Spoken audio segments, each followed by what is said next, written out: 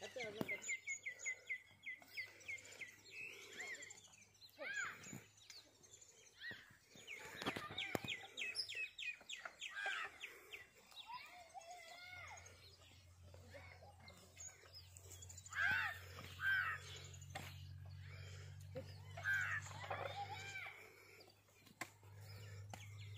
போடு அதான்.